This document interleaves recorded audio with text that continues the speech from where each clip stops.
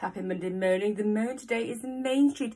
Main Street moaning. Oh, the congestion, the people, the fact that people are parking either side, the trucks that come on to deliver. Oh, the people that don't cross. Oh, the knobheads, the people that can't park, the people that can park, the people that go too fast, the people that go too slow. And it could go on. But if we didn't have free parking in a really, really, really busy high street with lots of things on offer and lots of variety and lots of places for you to make your life easy and convenient, we'd have a flow. And you could flow up to the top of Main Street really easily. And you could park and do a 360 degree turn because there was no other cars because there's no reason to come to the high street.